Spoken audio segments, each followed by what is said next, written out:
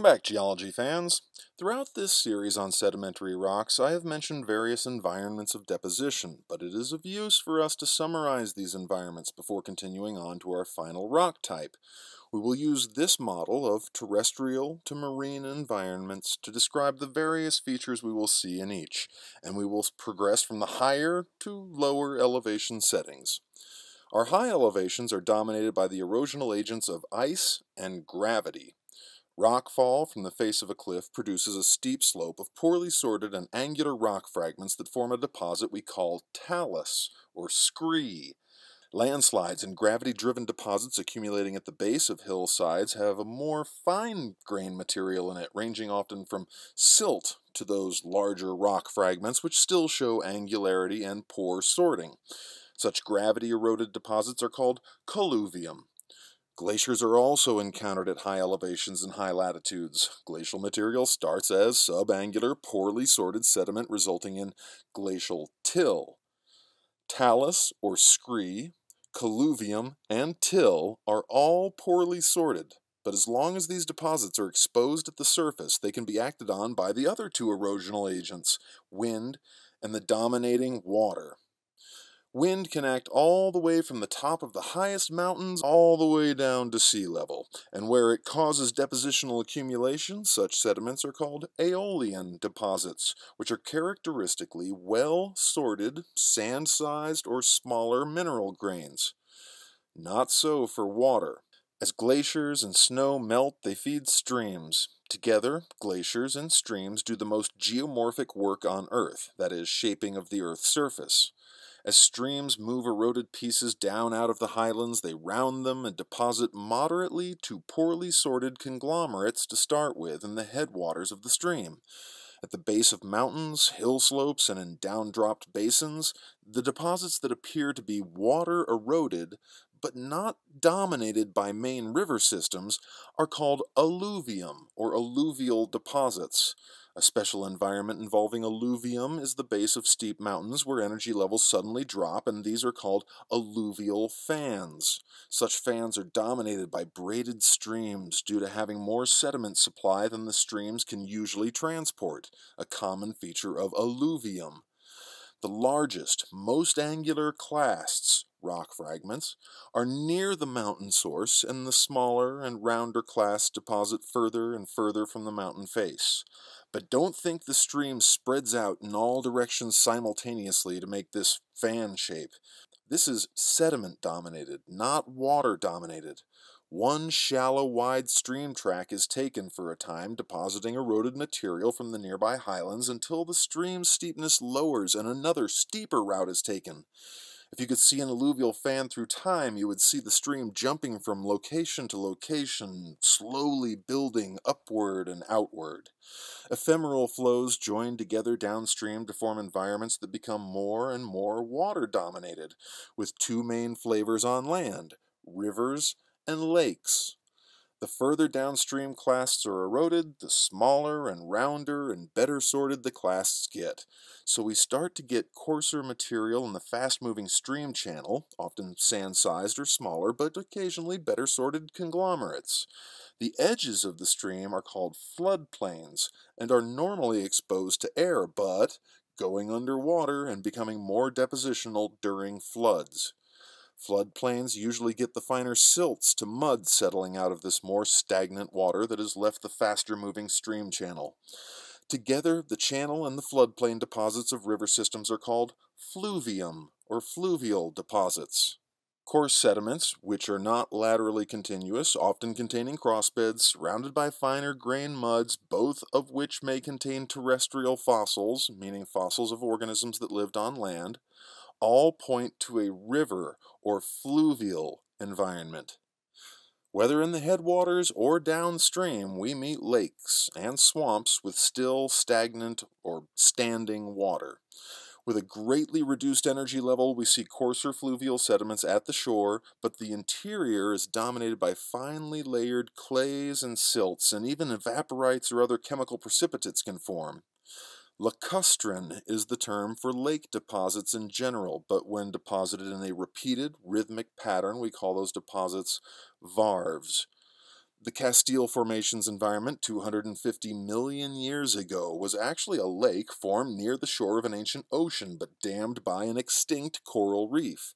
When the conditions were arid, this closed basin evaporated and deposited evaporites of mostly halite and anhydrite.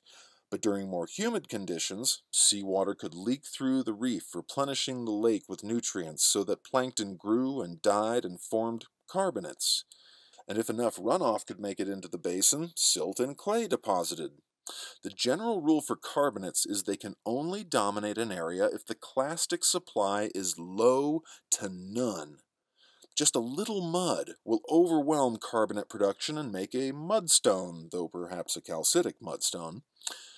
Pollen can be thought of as a clastic particle which gets incorporated into sediments in lakes, and looking at pollen, which can often be identified to the species level within these annual varves in lakes, gives us wonderfully detailed information about the changing ecosystems surrounding such lakes through time. The study of pollen in such sedimentary deposits is called palynology, and the study of inland waters in general and their interactions with the rest of the environment is called limnology. Lakes are often dammed, and dams can break and cause flooding. Well, no matter their cause, flood deposits are less well sorted and often have larger clast sizes. I say often because it depends on what material is available for the flooding waters. Glacial outwash could be lumped as a special case of these overly energetic water deposits, and flood deposits in general can be lumped as a special category of fluvial deposits but more often the streams leaving a lake are at typical flow, where we get these mixed sediment sizes in fluvial deposits we previously discussed, which persist down to the beaches of the world. All along the way there are soil deposits, which develop mudstones, and we mean mudstone and not shale, as the plate silicate minerals are not lined up. With water saturating the lower part of a soil stack, oxygen tends to deplete there, but above the saturated portion of the soil, air keeps the oxygen levels high enough to change the basic chemistry of one of the most common elements on Earth, iron. With no oxygen, iron becomes chemically reduced and we call it ferrous iron, which tends to display green to gray colors in rocks. With oxygen present, iron is oxidized to ferric iron, which tends to display yellow to red colors. Mudstones with brightly colored greens and reds are most likely to be ancient soil deposits, which we call paleosols. But land gives way to water at the beaches of the world, and there we get a range of particles depending on the average energy at the beach and the source material, but overall tend to be well sorted, with the rolling motion at the beach rounding larger clasts. Of course, most beaches accumulate sand, but very well sorted is the general rule, and beach deposits extend laterally much farther than the stream deposits. Terrestrial fossils transition to marine species at the beach, or even more specific beach species such as certain crabs, starfish, and coastal plants. Like the alluvial fans, as a river goes from a constrained land channel into a still body of water like a lake or the sea, it will deposit a feature called a delta, named after the sediment deposit at the mouth of the Nile River, which looked to ancients like the capital Greek letter delta. But there are various types of deltas which can be classified as wave-dominated, tide-dominated, or even fluvial, river-dominated. The Ganges and Brahmaputra rivers join to form a delta that is tide-dominated, with less wave action. The Nile Delta is wave dominated with less tidal action, and the Mississippi Birdfoot Delta is a fluvial dominated delta as the Mississippi River discharges about a ton of sediment per second onto its delta, and the Gulf of Mexico is relatively low in both waves and tides. Deltaic deposits are usually fine grained, mostly mud, with various bed features such as the bottom set beds, foreset beds depositing off of horizontal, and top set beds on top. Evaporites show up again at beaches, appearing first above the high tide line in sabkhas, which will have carbonates, evaporites, and some silt to fine sand. Otherwise, evaporites are more common along hotter, drier shorelines and where bays can get cut off and evaporate faster than the water input. If the bays are sheltered and have enough water and nutrients, limestone can also accumulate. But as we noted before, limestone formation requires little to no clastic input, thus are specifying sheltered bays. No rivers run in from the shore side, and reefs often protect from the high energy ocean waves. Limestone in the sheltered bay makes uniform, usually micritic, sometimes oolitic, limestone layers leading out to the protective reef where the rock becomes coquina, the limestone made of skeletal fragments of reef builders. Brecciated, that is, angular, broken up skeletal fragments from the reef, find their way offshore into deeper waters. But if the shore is unprotected from clastic input, the classic form is to have sand at the beach, which is much more uniform and laterally continuous than fluvial sand deposits, and contains fossils of beach-loving species. As we move offshore, we get the smaller silts settling out, and then the clays even farther out. Silts and clays show up in aeolian, fluvial, and lacustrine systems as well, but none of those extend quite as far as the marine silts and shales and the iron in these deep water deposits is more likely to be reduced than oxidized. The dinosaur Cretaceous-aged Pierre Shale on the Colorado School of Mines campus contains marine fossils and can be mapped across the North American continent, larger than any river floodplain or lake could make. Just the size tells us there was an intercontinental sea through the middle of our continent in the Cretaceous with a repeated reminder that limestone forms where there is little to no clastic input, it should be no surprise that if we can get out past the beach where the sands get removed, past the near-shore silts and the offshore clays, we can finally get to where the calcite planktonic skeletons can be the dominant clastic particle settling to the sea floor, and we see the deep marine limestone forming.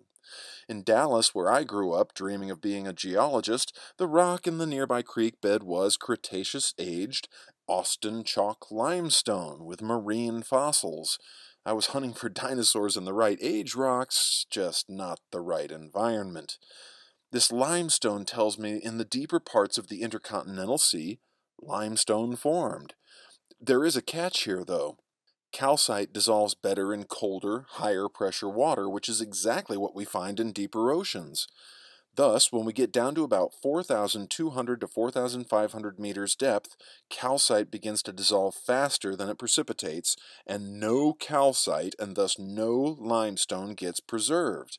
Below this depth, called the carbonate compensation depth, or CCD, calcite does not accumulate, and so even with very low clastic input, wind-blown silt and clays and insoluble organics are the only things to settle into the deeper seas at very, very slow rates. But there is one more dramatic sedimentary deposit that can occur in these deep marine settings, the submarine fans of coarser material and often including graded bed turbidites from higher energy density currents moving sediment down into these deeper waters. Though turbidites can also occur in lacustrine, uh, lake environments, they are more likely marine and often deep marine where the continental slope breaks into the abyssal plain of the seafloor. The presence or absence of calcite can be a clue to just how deep these deposits were. And speaking of the solubility of calcite, it should be no surprise to see buried and pressured limestone take on stylolites, the result of dissolution we met in the secondary sedimentary structures. But with that, we are seeing the first changes of rock in the solid state. When we come back next time, we will start our investigation of the last rock type, the metamorphic or changed form rocks, which have been altered physically and or chemically in the solid state. We're going deep next time to meet these mysterious information bombs here on Earth Explorations.